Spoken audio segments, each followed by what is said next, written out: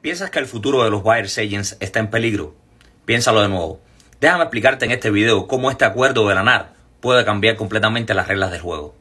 Con el nuevo acuerdo de la NAR, aún a espera de aprobación, muchos temen sobre el futuro de las posibles comisiones que se estarían pagando a los agentes inmobiliarios. Pero, ¿es realmente el fin de todos los agentes que representan a compradores como lo conocemos?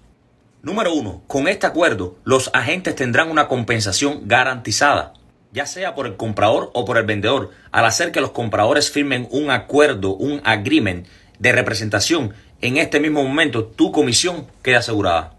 Este acuerdo de representación con el comprador desmantela completamente la incertidumbre de que si esa persona está trabajando serio contigo o no. Al tener un acuerdo de representación, quiere decir que ese comprador solamente estará trabajando contigo. Y eso elimina completamente de la mesa que los compradores estén de Realtor en Realtor. Así que eso es muy bueno para la industria.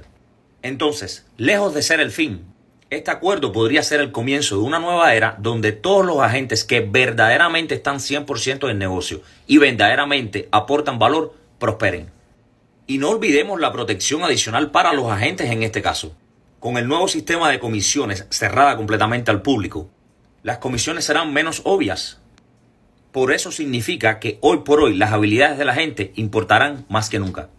La pregunta es, ¿estás tú listo o lista para el cambio? Si estás interesado en saber más, dale like, comparte, síguenos, pero también comenta. Me gustaría saber tu opinión y cómo afectará esto tu negocio en los meses venideros.